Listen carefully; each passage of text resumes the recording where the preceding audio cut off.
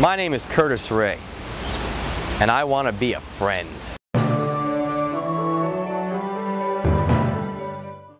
The Kennedy Center is known for attracting the biggest names and the best performances.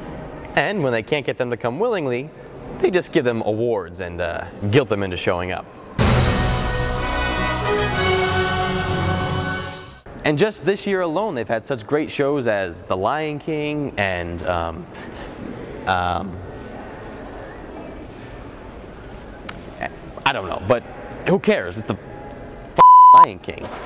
Now, because you've been such a great audience, I'm going to give you a sneak preview of The Lion King.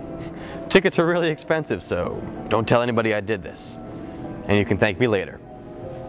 Financially. Which means with money.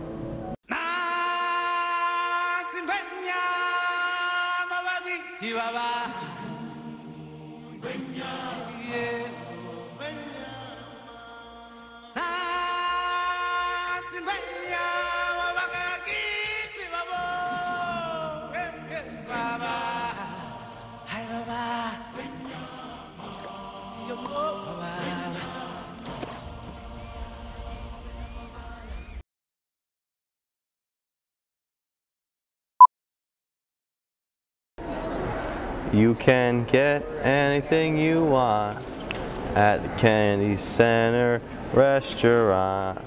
Walk right in, it's up the stairs. Get some curly fries, nobody cares. You can get anything you want at the Kennedy Center restaurant.